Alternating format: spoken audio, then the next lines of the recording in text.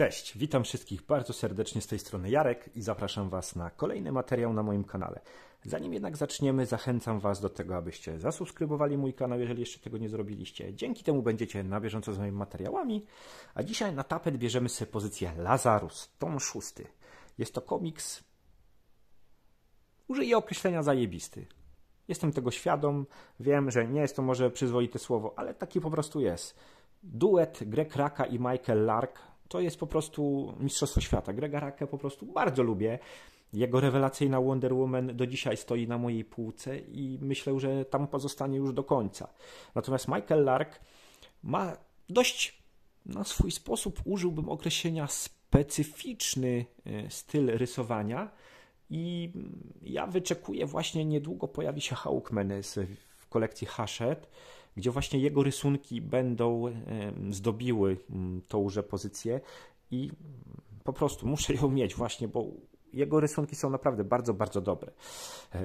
Jesteśmy trochę w trudnej sytuacji, gdyż tom szósty, jak nam mówi, prawda, e, przed nim było pięć, a nawet był jeden specjalny i powiem wam, że ja je wszystkie przeczytałem, ale to jeszcze był czas, kiedy nie miałem swojego kanału i teraz dostałem właśnie do recenzji tom szósty gdzie kontynuując fabułę, pamiętam ją jeszcze w miarę dobrze, mogłem się cieszyć tym, co się oczywiście dalej dzieje w tej historii. Przede wszystkim muszę e, dodać, że zauważyłem w porównaniu do wcześniejszych tomów jakość wykonania tego zeszytu, tego komiksu, tej pozycji.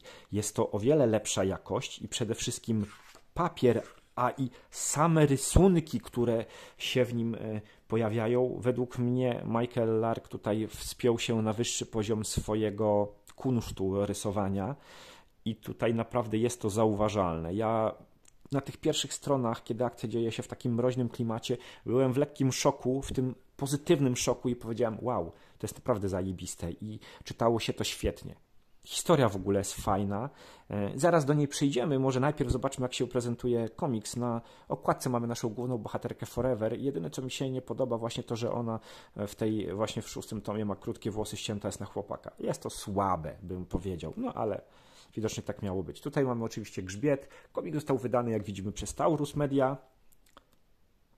Cena okładkowa to 65 zł. Możemy go tam troszeczkę kupić taniej i aby nie streszczać Wam całej historii, bo naprawdę to by zajęło bardzo długo, mogę Wam powiedzieć na pewno, że opowiada ona o pewnych rodzinach, które rządzą terytoriami na globie, a reszta ludzi, którzy nie należą do tej ich rodziny, tak jakby są odpadami. Każda z nich ma swojego łazarza, czyli takiego super żołnierza, coś jak e, amerykański żołnierz, prawda, Universal Soldier i po prostu jest to ktoś zmodyfikowany genetycznie, są to często jakieś, wręcz bym powiedział, nieludzkie formy, tak? Jest ta tkanka, ta powłoka ludzka, ale tak naprawdę nie zawsze jest. Często one posiadają swoje wersje nowsze, które są już teraz przygotowane, kiedy ta e, zakończy, użyjmy określenia, swój żywot, a i te wcześniejsze. I tutaj właśnie bardzo ciekawie jest to zrobione. Dodatkowo, żeby Wam troszeczkę e, przytoczyć, jak to wszystko wygląda. Ja Wam po prostu tutaj pokażę e, to, co widzimy teraz. Krótki opis dla Was istotny.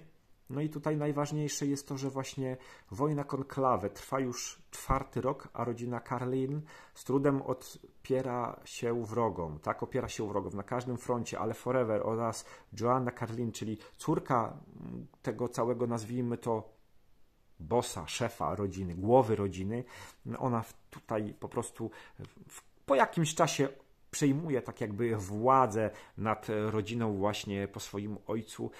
I oczywiście rodzeństwo jest o to zazdrosne, ale to mówię, to działo się we wcześniejszych tomach i tutaj jak widzimy przychodzą do ofensywy.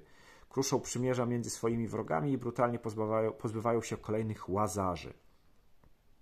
Także tak to się prezentuje i tutaj mamy dopisany jeszcze inny kawałek. Akcja generalnie kończy się e, na tym, że e, nasza główna bohaterka Forever, która jest w pewnym takim uczuciowym szachmacie troszeczkę z jednym z łazarzy, okazuje się, że on tak jakby zdradza, prawda? I akcja kończy się na tym, że właśnie przez to jeden z zaprzyjaźnionych łazarzy, który y, jest tak takim, w takiej wspólnocie z rodziną właśnie Forever ginie po prostu podczas akcji z tym jegomościem. To jest rodzina Walsowionki. Nie wiem, czy ja dobrze to wymawiam, ale właśnie to jest taki gość naprawdę przechuj, brzydko powiem. I zabić go nawet pociskiem nie jest łatwo. Tutaj w ogóle w sposób jeszcze bardziej hardkorowy jest pokazany, jaki to jest rzeźnik, ale Forever oczywiście się nie poddaje i tutaj walczy. Tutaj w ogóle główną taką osią tej fabuły, tego szóstego tomu i najbardziej takim sekretem jest to, że Forever po prostu e, obiecuje, że dalej będzie tak jakby tak pomagać swojej rodzinie, która tak mimo wszystko nie do końca jest jej rodziną, ale pod warunkiem, że będzie miała okazję poznać ten swój prototyp, tą następną jakby e, Forever wersję dziewiątą, która jeszcze tak naprawdę jest młodą nastolatką, ona dopiero jest szkolona. No oczywiście w międzyczasie cały czas e, dochodzi do konfrontacji rodzin i walki tych łazarzy, gdzie ona sama dowiaduje się, a nawet nie tyle dowiaduje, tylko wiedziała, że właśnie ten jej kochać, użyjmy to określenia jednej z rodzin, nie był tak naprawdę już wtedy nim, kiedy doszło do tej walki w tomie piątym i gdzie jeden właśnie z ludzi ginie. Tutaj otwierając wam e, komiks, mm, mam jeszcze takie dla was krótkie streszczenie, gdybyście chcieli, możecie sobie przeczytać, co się działo e, w poprzednich tomach. Możecie sobie zatrzymać, ja nie będę tego wszystkiego czytał, ale na pewno Wam e, to jakoś ułatwi. I tutaj świetna sprawa jest, bo jest e, rozrysowane wszystko tak naprawdę, wszystkie rodziny, prawda? To e, jest ich łazarzem i tak dalej, i tak dalej. I właśnie, no niestety, ale tutaj widzimy, że Sir Thomas Houston, który właśnie ginie w wcześniejszym tomie, no jest tu nieobecny tak samo jak i rodzina Rauslingów, gdzie możemy zobaczyć na dole. No i akcja oczywiście zaczyna się zaraz w związku z dalszymi działaniami, tak, po tej nieudanej walce z łazarzem wo, rodziny Wolsowianki.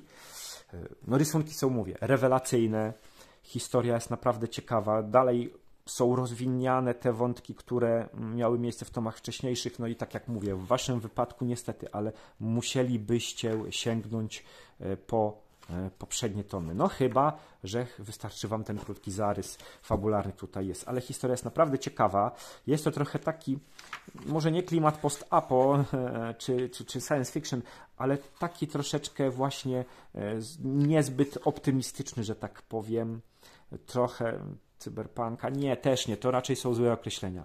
Ale no mówię, taka dystopia w pewnym sensie. Są te rodziny, które rządzą określonymi sektorami na planecie że tak powiem, określonymi rejonami ziem.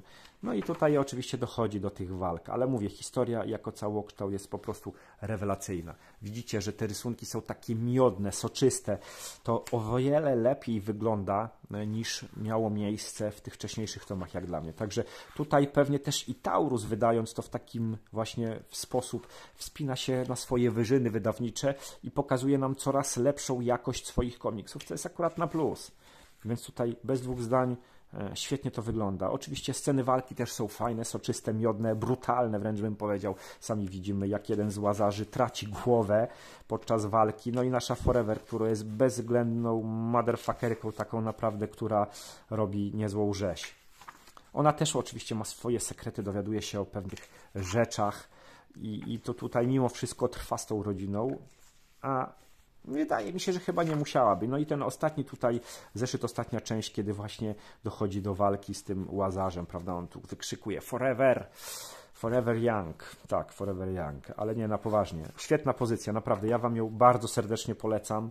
No ale niestety, musicie zainwestować w pierwsze tomy, które się ukazały, ale mimo wszystko warto. To jest naprawdę cholernie dobra historia. Ja, ja ją po prostu lubię. Miałem okazję ją czytać, miałem okazję mieć e, tamte mm, komiksy i no, Lazarus. Rekomendacja, naprawdę. Przynajmniej mocne 8 na 10 śmiało tutaj mogę e, polecieć, jeśli chodzi o swoją ocenę. Także moi kochani, gdybyście byli zainteresowani tym komiksem, na dole w opisie Znajdziecie do niego e, link, tak, będziecie mogli sobie kupić. Oczywiście Was zachęcam do komentowania, polubiania, udostępniania, będzie mi bardzo miło. Zaglądajcie na stronę lubiełkomiksy.pl, fanpage na Facebooku oraz konto na Instagramie. Tymczasem z Wami się żegnam, widzimy się w kolejnych materiałach. Do usłyszenia, do zobaczenia. Cześć.